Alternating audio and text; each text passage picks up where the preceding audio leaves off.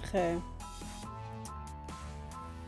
rondavel en ons het geëet en ons het gewag vir die son om onder te gaan maar toe begin dit neem en Pieter het vir ons 'n lekker kaffelvuurtjie gemaak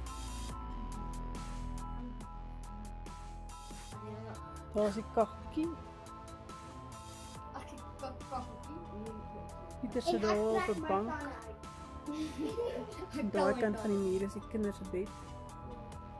En ons gaan nou 'n bietjie Narnia lees.